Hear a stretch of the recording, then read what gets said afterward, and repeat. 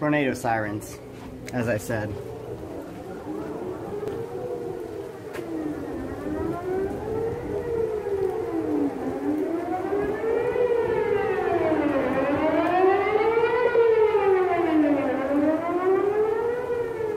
I really hope that doesn't mean there's a tornado, guys.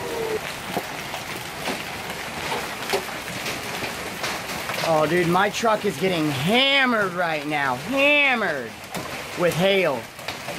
Oh my god, dude. Oh my god, that's golf ball. That is golf ball. I gotta go check on the chickens. That's huge. Oh my god. Dude. Oh, my garden is F. My garden is F. My truck is F, dude. Like, I don't want to get hit. I need a helmet. Oh my god, dude. That. Look at that. That is a golf ball. Oh my god. Look at that. Look at that. Oh my god, it's slowing down. I gotta go get a helmet and I gotta go check on the chickens though. That could like fuck up a chicken pretty bad. That could really hurt them. Oh my god,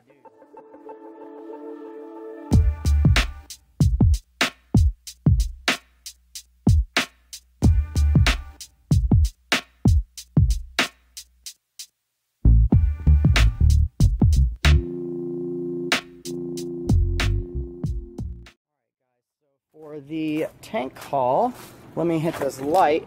That's where my um, that's where my vents come out of my fish room, if you're wondering. But uh, here's the tank haul. Um, basically, I got 130 long, paid 20 bucks for that. I got the 20 for free, and then I got four 29 longs. Uh, I paid $15 each for those. So 50 cents a gallon, a little bit more for that. That's my fault. I thought it was a 40, so I, I, said it was a 40, so I had to give him 50 cents a gallon. And he gave me that for free because I got enough. Um, that and I had to repost his uh, his sale on Facebook for him, but I didn't have a problem doing that. But uh, yeah, these are the tanks, and basically um, we have tornadoes on the way, so I've got to make sure nothing is going to break these tanks. Um, I may carry them inside, to be honest, but yeah, we'll see. Wish me luck, please. Over here, I have got some red onions. That right there is actually a beet from last season that is coming back. Um, and then these are all potatoes. So those are four different kinds of potatoes. I have goldens, reds, russets, and then right here are actually a purple potato.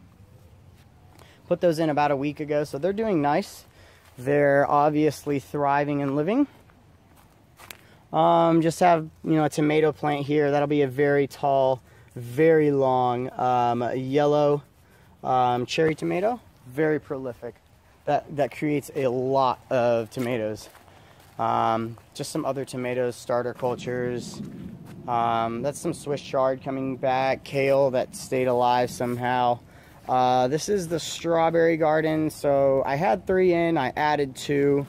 And I actually have strawberries. One second, I've got to turn. I can hear my hose is on. I got to bring that inside too. I almost tripped. Got to turn this guy off. And I do filter all my water that I water my garden with. Just a cheap $40 filter, but it helps. Uh, it, it, helps immensely when you have chlorine that you water your garden with. But um, uh, these are also strawberries. As you can tell, I've got a few starting to come in.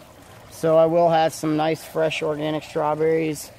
Um, fruit trees eventually. Those will grow for me hopefully. Hopefully nothing bad happens to that. What's up girls? What are you doing huh? Bark bark bark. Chicken chicken. Bark bark bark. Chicken chicken. Bark bark bark.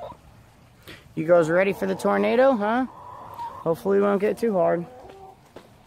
Um but yeah so I had a bunch of plants right here and basically what I did was I moved all of those plants so that I could have outdoor ponds right here. Um, I'm going to be setting that guy up right here. I'm probably going to set up some other stuff out here as well. And that porch gets hit with a lot of sun. The goldfish that are in there are going to move. I'm going to be cleaning out probably that tote and putting it right there because that should be pretty shaded. It should be fairly easy to shade that. I'll just build a canopy over those. And I'm probably gonna build a canopy over like that entire area for the summer because we get very sunny here.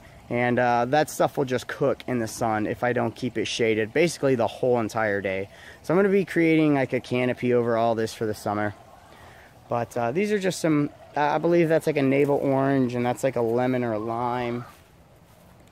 Um, over here we've got some some pepper plants just a couple different kinds um, I'm not done with my gardening stuff yet I've got more stuff to do I'm going to be putting like some some tomato plants over here that are going to grow. I'm going to utilize all that that mesh right there on their cage um, and basically grow tomatoes up it um, uh, so that uh, I can utilize more. It'll feed them and I happen to know of a tomato that just grows ridiculously fast.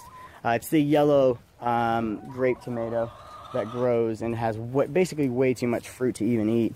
Um, then these guys over here, I've just got some um, I got an orange, like a red, and a yellow uh, bell pepper. And then I've also got a bunch of white onions and garlic in here. So everything that's open space has onions and garlic in it. Um, so there'll be basically as much onion and garlic in that one as there is over here uh, once they all decide to shoot up. Now these are only a few weeks old. Now this, this onion grass isn't very strong. You can see it just breaks, but that really shouldn't matter. It should get stronger and thicker continuously over the season. And it'll take, uh, I think, like two months. But after two months, there should be some pretty big onion bulbs underneath there. But um, just so you guys know, so I can share it with you. If you want, like, this is the yellow cherry tomato. This is probably the highest producing cherry tomato. You can see there's like one little vine of it and you see how many cherry tomatoes are on that. That is not an exaggeration. The yellow cherry tomato is the highest fruiting tomato that we have um, at our disposal as a gardener. So if you want a tomato that produces a lot of fruit, that is definitely the way to go. Grab this guy, kick that guy over, otherwise she's just gonna blow over hopefully these guys do well. The goldfish. Um, boom. That was a strike.